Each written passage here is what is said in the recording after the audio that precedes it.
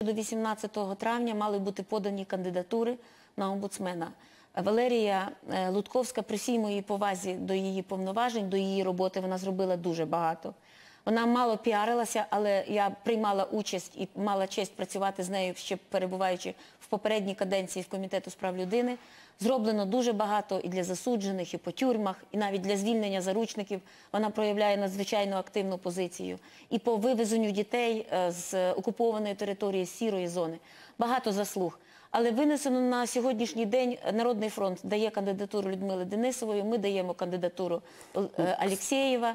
І е, Кстати, Ирина, ну вот журналисты и некоторые политики говорят о некоем размене между БПП и э, Народным фронтом. Вы им э, к- э, омбудсмена для Денисовой, а БПП получит за это счетную палату. Можете будуть подтвердить винесені ні, или такого опровергнуть? розміну не відбувається. Будуть винесені обидві кандидатури.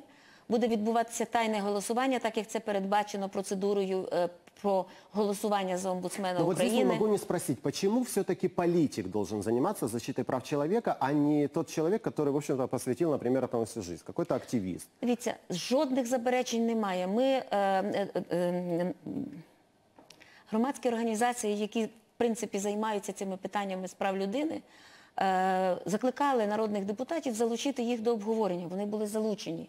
Вони повинні були дати кандидатуру. Таке обговорення відбувалося на комітеті Немирі.